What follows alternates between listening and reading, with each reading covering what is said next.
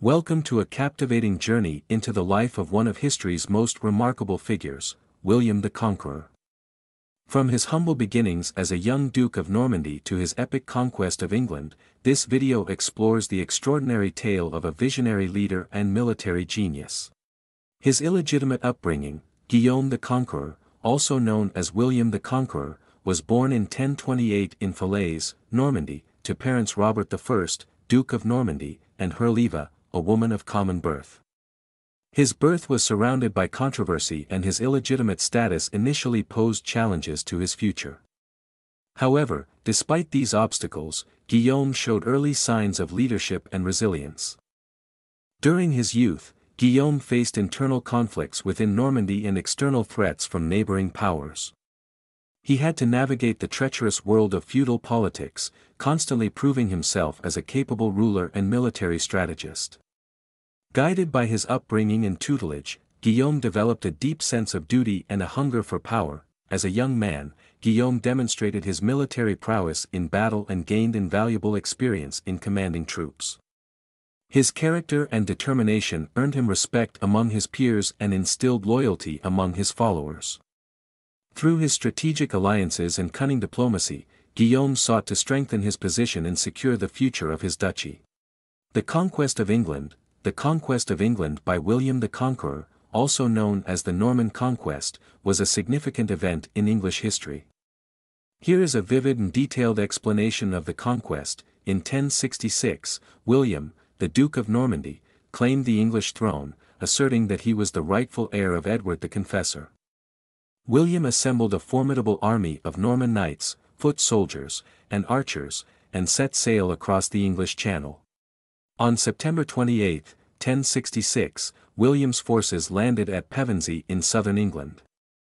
They quickly established a defensive position and began to build a wooden fortification, known as a Motte and Bailey Castle, to protect their beachhead. Meanwhile, Harold Godwinson, the newly crowned King of England, had just defeated another invading army led by Harold Hardrada of Norway at the Battle of Stamford Bridge.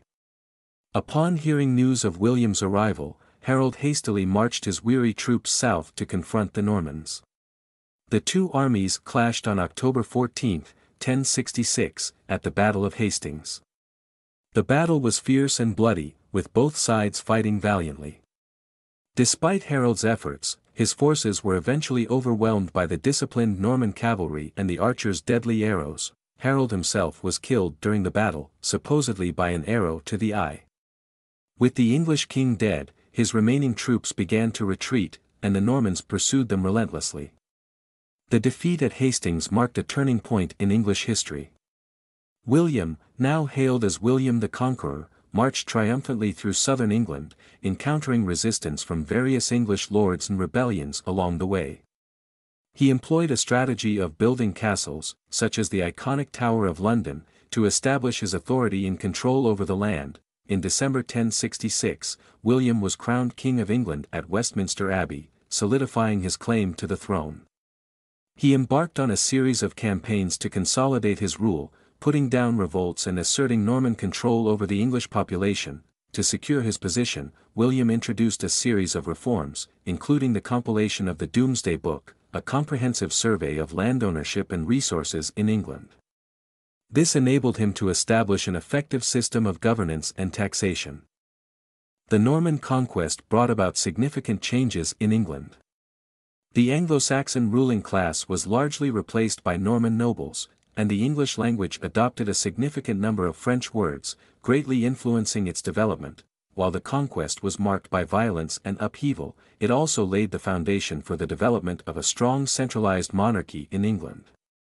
William's reign ushered in a period of cultural, social, and political transformation, forever shaping the history of England and its ties to Normandy.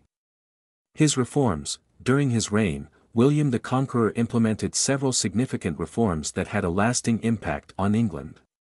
One of the most notable reforms was the creation of the Domesday Book, a comprehensive survey of land ownership and resources in England.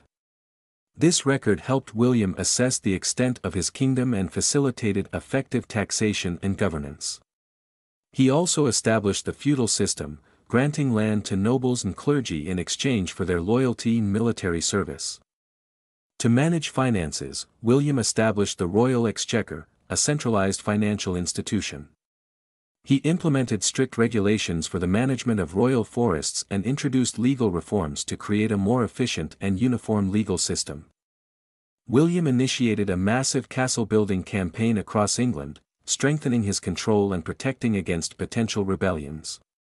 He exerted control over the English Church, appointing Norman bishops and abbots to key positions. These reforms, among others, helped William consolidate his rule and establish a strong centralized monarchy in England. They laid the foundation for subsequent developments in governance, administration, and legal systems, shaping the future trajectory of the country. Other occupations, international relations, William was also involved in conflicts with other European rulers, notably the King of France and the Breton lords. He sought to expand his influence and consolidate his borders. Construction of castles and cathedrals, William ordered the construction of many castles and cathedrals in England, including the famous Tower of London and Canterbury Cathedral. These monuments are still visible today and testify to its architectural heritage. His death, William the Conqueror died in 1087 in Rouen, Normandy. His legacy lives on to this day, with the Norman influence on the culture, language and legal system of England. He laid the foundations of the Norman monarchy and shaped the history of England and medieval Europe. And that concludes our journey through the remarkable life of William the Conqueror. From his ambitious conquest of England to the implementation of significant reforms, his legacy continues to shape the course of history. As one of the most influential figures of his time, William's impact on the development of England and its institutions cannot be overstated. Thank you for watching.